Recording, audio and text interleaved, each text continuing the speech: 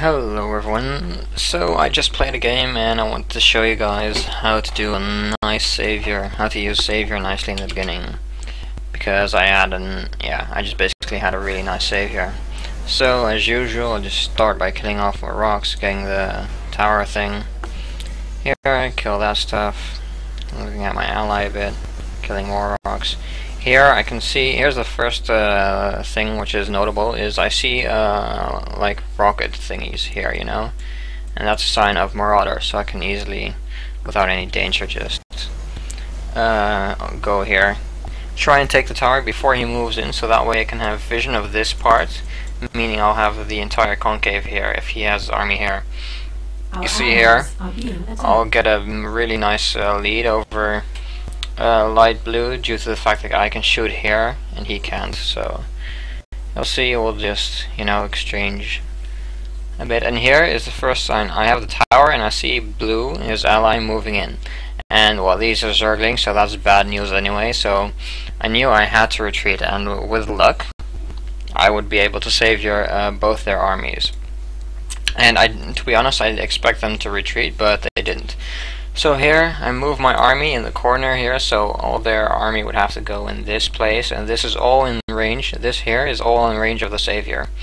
What my plan is to uh, put my rally point of the command center to, to here, so the Savior will walk here, and then, uh, yeah, make it basically fire everything at once and you you'll see that worked out quite nicely. Here I put my army in the corner so the enemy army would go near. Put the rally point there. The infestor you'll see I moved it you see I moved the infestor there. Normally it would auto attack everything. This all is in range already.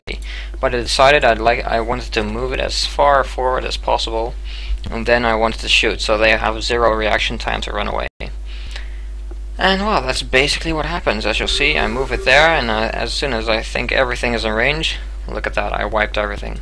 Just look at the bounty board, 486 minerals. And, well, they got 100 and 103. Uh, you'll see I have 749 minerals, which is like a really great position for me to be in. Now, I didn't decide to record the entire thing because I'm a bit lazy to, lazy to record the entire thing from replay, but I just uh, thought this was a really nice savior. And yeah, so that's basically how you want a savior. That's how an I how an ideal savior looks like, or what an ideal savior looks like. You just want to make sure you you move your army back as uh, yeah. You just want to move your army back and lure the enemy in as far as you can. And then when you think the time is right, you see enough units are here, you just launch the savior. You'll see I'm waiting a bit before because I saw light blue moving in.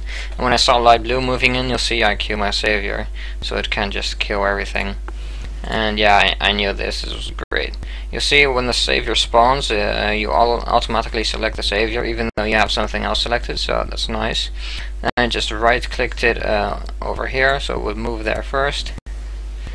And then as soon as I think the entire enemy army is in range, I just press the S button and let the savior do its work. So yeah, that's how that works. Uh, yeah, so much for this short video, and I'll see you guys next time.